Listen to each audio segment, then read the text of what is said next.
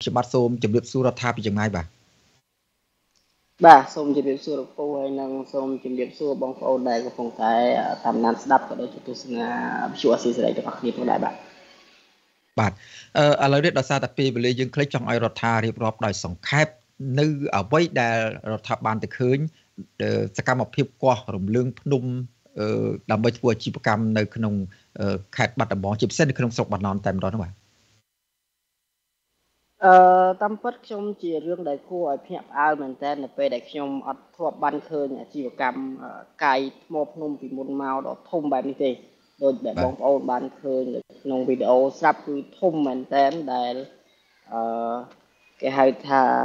ការកាយនោះគឺតាំងពីឆ្នាំ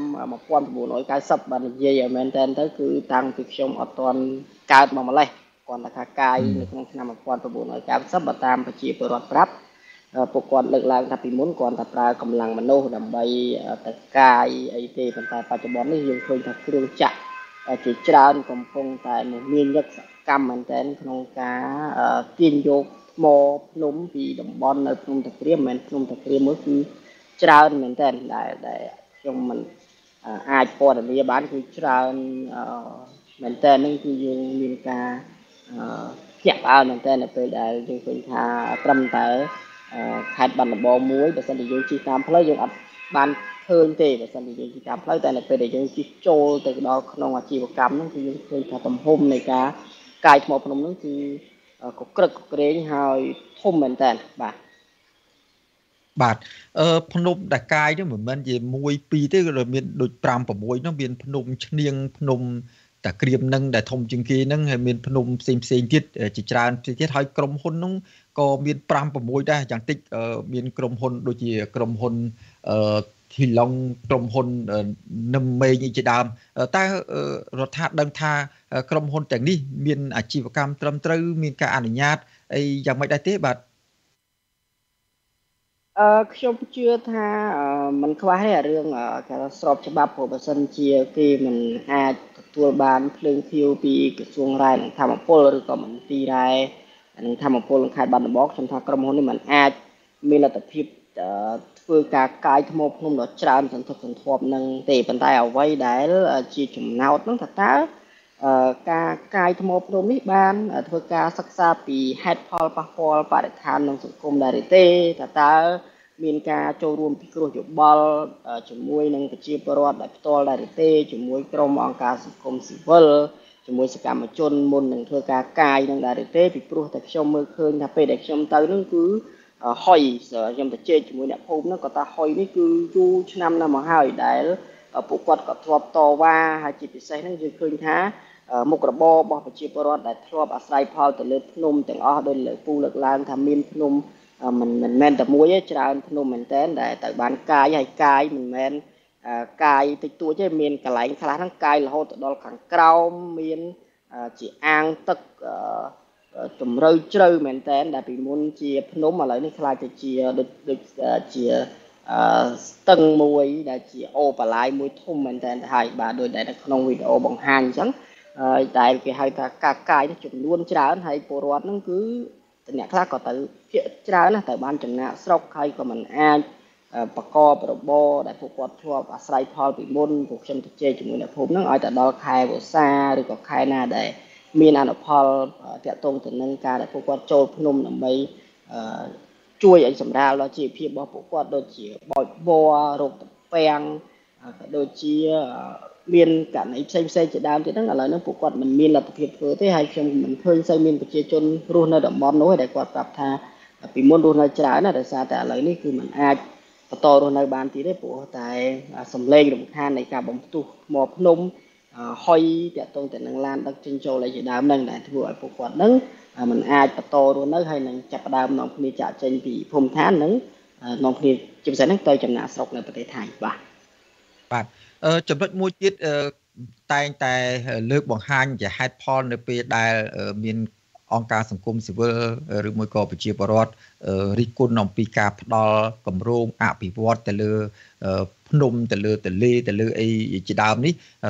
ខាងក្រសួងខាងអ្នកជំនាញឬមួយក៏រដ្ឋាភិបាលតែងតែឆ្លើយតបថាការផ្ដល់ការអភិវឌ្ឍនេះដោយសារតែមើលឃើញព្រៃឬក៏ដីឬក៏ភ្នំហ្នឹង អស់លទ្ធភាពអស់សក្តានុពលសម្រាប់ផ្ដល់ជាប្រយោជន៍ទៅដល់ប្រជាពលរដ្ឋដោយការពីមុនដោយការពីរដ្ឋាភិបាលរៀបចំអំបញ្ញមិញនេះភ្នំនេះធ្លាប់ផ្ដល់ជាអនុផលប្រៃឈើផ្ដល់ជាការរកទទួលទានជាកន្លែងខ្វៀលគូកបីជាសពសារពើទាំងអស់សម្រាប់ឲ្យរស់ប្រចាំជីវិតរបស់ប្រជាពលរដ្ឋក៏ប៉ុន្តែក្រោយមកថា អស់លទ្ធភាពអញ្ចឹងហើយវាលែងមានសក្តានុពលអញ្ចឹងហើយបានគេទុកទៅអត់ចំណេញក៏ប្រគល់ទៅឲ្យក្រុមហ៊ុនអភិវឌ្ឍអញ្ចឹងតាមរយៈការរដ្ឋាចុះទៅមើលផ្ទាល់ហ្នឹងតើពិតជាទីតាំងអស់ទៅនឹងពិតជាបាត់បង់សមត្ថភាពការផ្គត់ផ្គង់ទៅដល់ប្រជាពលរដ្ឋដោយការពីមុនអញ្ចឹងមែនឬមួយក៏យ៉ាងម៉េចដែរខ្ញុំថារឿងសាមញ្ញទេយើងតែប៉ិតប្រជាពលរដ្ឋខ្មែរគាត់លើសពីដឹងហើយថាភាគច្រើនហ្នឹងគឺជាតែងតែកុហកយើងពី ពីការប៉ិតដែលកើតមានជាពិសេស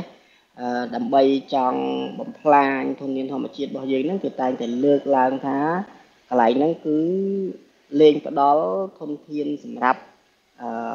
ប្រយោជន៍រួមហើយគឺត្រូវតែចេញអនុក្រឹត្យឬក៏ធ្វើយ៉ាងណាមានការអភិវឌ្ឍដើម្បីចំណេញមកដល់សេដ្ឋកិច្ចជាតិប៉ុន្តែជាក់ស្ដែងដែលយើងទៅឃើញផ្ទាល់ហ្នឹងអឺទ្រព្យសម្បត្តិធនធានធម្មជាតិរបស់យើងទាំងអស់គ្នាហ្នឹងគឺ មិនមែនមិនត្រឹមតែបាត់បង់ទេគឺបានផ្ដល់គេហៅថាប្រយោជន៍រួមមែនទែនសម្រាប់សាធារណជនដូចជាស្ដែងនៅភ្នំតាក្រៀមនឹងមុននឹងមានការកាយភ្នំនឹងគឺប្រជាជនថាពួកគាត់នឹងគឺស្ទើរតែជីវិតរបស់ពួកគាត់នឹងគឺពឹងអាស្រ័យផលទៅលើភ្នំ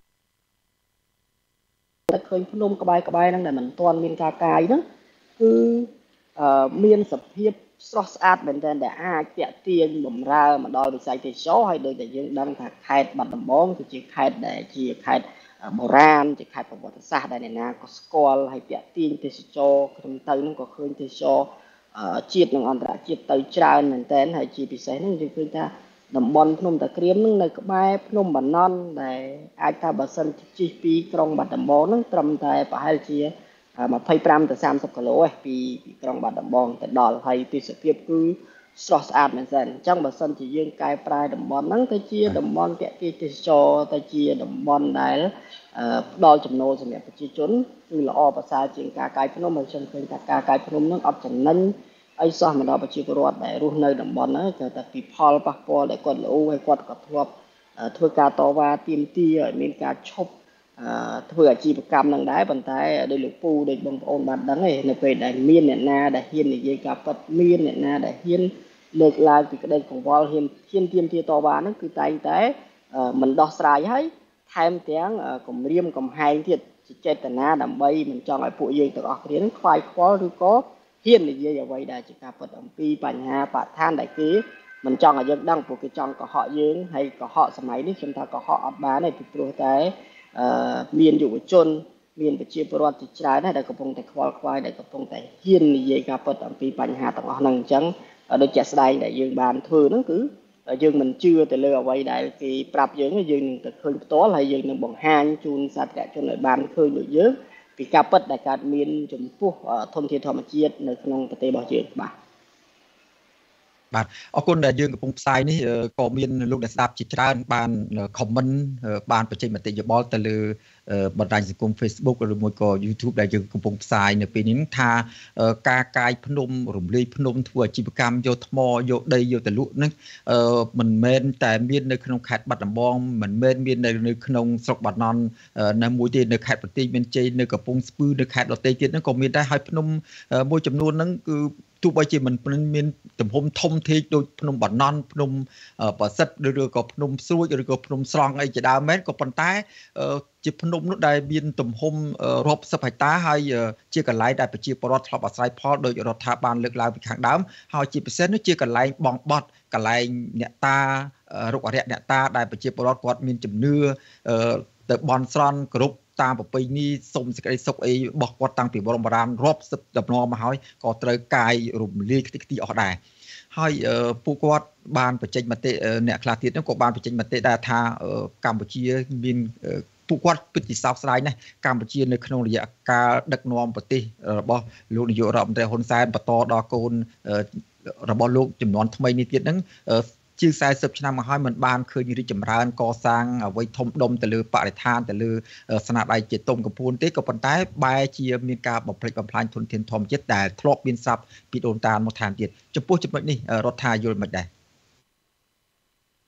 ខ្ញុំថាមានតបងប្អូនប្រជាពលរដ្ឋខ្មែរទាំងអស់គ្នាហ៊ាននិយាយការពិតទេហ៊ានលើកឡើងអំពីអ្វីដែលកំពុងកើតមាននៅក្បែរតំបន់របស់បងប្អូនក្បែរភូមិឋានរបស់បងប្អូនអឺ នឹងដើម្បីព្យាយាមរកដំណោះស្រាយជាមួយគ្នាហើយបើសិនជាបងប្អូនមិនហ៊ាននិយាយបងប្អូនអាចតាក់ទងប្រកាន់ក្រមយុវជននៃចលនាមេដាធម្មជាតិបានពួកយើងរីករាយក្នុងការសហការគ្នាដើម្បីប្រមូលព័ត៌មានដើម្បី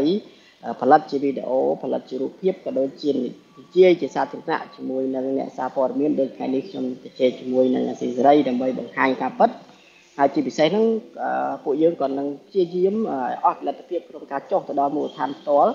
បើសិនជាបងប្អូនអាចជួយប្រាប់ពួកយើងហ្នឹងបងប្អូនអាចជួយផ្ញើសារមកកាន់ page Facebook របស់ខ្ញុំឬក៏ឈ្មោះថនរដ្ឋាក៏ដូចជា page Facebook របស់ Mother Nature Cambodia ជាដើមយើងនឹងព្យាយាម ចុះទៅប្រមូលព័ត៌មានការពិតដើម្បីផ្សាយជូនបងប្អូនដោយករណីខ្ញុំតាក្រៀមដែលយើងបានចុះទៅហើយនឹងមានតំបន់ផ្សេងផ្សេងហើយខ្ញុំដឹងដូចគ្នាដូចដូចបងប្អូនលើកឡើងហ្នឹងថាមិនខ្វះទេភ្នំនៅស្រុកខ្មែរស្ទើរតែ24ខេត្តក្រុងឲ្យតែខេត្តណាដែលមានភ្នំនេះគឺយើងឃើញថាមានការកាយថ្មភ្នំជាច្រើនមែនតើអញ្ចឹងហើយបានជាពួកខ្ញុំកំពុងតែព្យាយាមចុះឲ្យដល់ទីតាំងដើម្បីប្រមូលព័ត៌មានការពិត ដើម្បីលុបបំបាត់អ្វីដែលគេកុហកយើងអ្វីដែលគេលើកឡើងមិនពិតដើម្បីជំរាបជូនបងប្អូនដើម្បីព្យាយាមរកដំណោះស្រាយក៏ដូចជាការពារធនធានធម្មជាតិសម្រាប់ប្រទេសរបស់ពួកយើងទាំងអស់គ្នាផងដែរបាទបាទសូមអរគុណធរដ្ឋាដែលបានចំណាយពេលវេលាហើយចុះទៅអង្កេតផ្ទាល់ហើយបានផ្ដល់ជាព័ត៌មានដល់លោកនាងដែលកំពុងតាមដានស្រាប់ការផ្សាយរបស់វិទ្យុអស៊ីសេរីនៅក្នុងរាត្រីនេះបានជ្រាបអំពីស្ថានភាពបរិស្ថានជាពិសេស ស្ថានភាពភ្នំនៅក្នុងប្រទេសកម្ពុជាដែលកំពុងប្រឈមនឹងហានិភ័យនឹងរលុបបាត់ពីផ្ទៃដីស្រុកខ្មែរនេះតែម្ដងទៅថ្ងៃអនាគតបើសិនជាមិនមានការកែប្រែឬក៏មិនមានការទប់ស្កាត់ហើយយើងនឹងសង្ឃឹមថានឹងក្រមចលនាមេដាធម្មជាតិនឹងមានទទួលបានព័ត៌មានរុករកឃើញព័ត៌មានថ្មីថ្មីទៀតជុំវិញបញ្ហាបំផ្លិចបំផ្លាញធនធានធម្មជាតិនេះដើម្បីមកផ្សាយជូនលោកនាងនៅពេលក្រោយទៀតហើយសម្រាប់ពេលនេះខ្ញុំបាទសូមអរគុណរដ្ឋាតែប៉ុណ្ណេះសិនបាទ បាទសូមអរគុណលោកពូនិងសូមអរគុណបងប្អូនដែលតែងតែគ្រប់គ្រងពួកយើងហើយសូមបញ្ជាក់ថាព័ត៌មានដែលយើងទទួលបានគឺទទួលបានពីបងប្អូនហើយសូម្បីតែថាវិការដែលយើងចុះទៅហ្នឹងក៏ភាគច្រើនហ្នឹងគឺបងប្អូនជាអ្នកជួយពួកយើងឲ្យពួកយើងអាចមានលទ្ធភាពប្រមូលព័ត៌មានទាំងអស់ហ្នឹងអញ្ចឹងមានតែម្រាមដៃ10ទេគឺអរគុណបងប្អូនទាំងអស់គ្នាដែលតែងតែជួយមកដល់ក្រុមយុវជននៃចលនាធម្មជាតិអរគុណពូ